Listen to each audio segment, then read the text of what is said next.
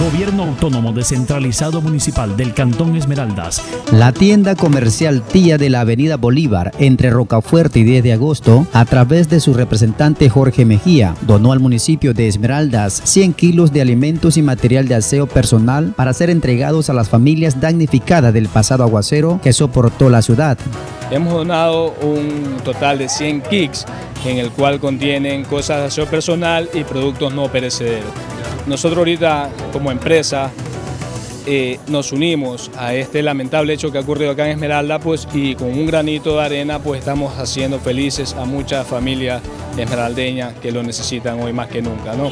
A la acción generosa que realiza el municipio se suma la gestión de los jóvenes de Esmeraldas a través de Darío Robinson, presidente nacional del Consejo Consultivo, habiendo logrado que la prefectura de Santo Domingo de los Áchilas, que dirige Giovanni Benítez, haga la donación de piñas. El Consejo Consultivo de Jóvenes, el Centro de Juventud Esmeraldas y varios colectivos y organizaciones sociales juveniles del Cantón y la provincia de Esmeraldas a nivel nacional no hemos activado para, eh, esto es el inicio de una campaña Hoy por ti Esmeraldas. Está previsto que el mismo gobierno provincial de Santo Domingo de los Áchilas, en coordinación con colectivos juveniles de esta provincia, vayan a ser presentes también con más víveres y vituallas. Frente a las ayudas, el alcalde de Esmeraldas, Lenin Lara Rivadeneira, señala.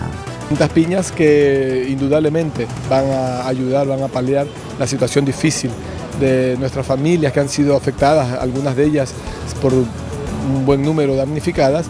Agradecemos esa, eh, ese apoyo y esa solidaridad. Esmeraldas, ciudad al mundo, alcaldía de Esmeraldas.